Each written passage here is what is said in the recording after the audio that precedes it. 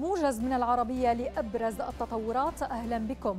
مصدر أمني أردني يكشف عن هوية سائق الشاحنة منفذ إطلاق النار عند جسر الملك حسين الحدودي بين الضفة الغربية والأردن ويدعى ماهر الجازي وإسرائيل تقرر إغلاق المعابر مع الأردن. نتنياهو يتوعد حزب الله ويصفه بالذراع القوي لإيران ويقول إنه لا يوجد احتمال لاستمرار الوضع الحالي في الشمال على الحدود مع لبنان. ويضيف أنه لو لم تتحرك إسرائيل على مدار السنوات الماضية لكانت إيران قد امتلكت أسلحة نووية على حد تعبيره.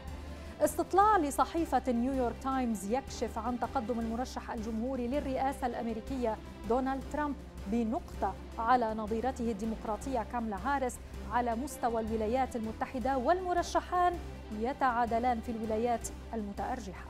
وفي مقابلة خاصة مع العربية وزير الدفاع العراقي ثابت العباسي يؤكد أن اللجان العسكرية العليا العراقية والأمريكية اتفقت على انسحاب القوات الأمريكية من العراق خلال عامين. ويشدد على أنه من مصلحة العراق الابتعاد عن أي محور في الصراع الدائر في المنطقة.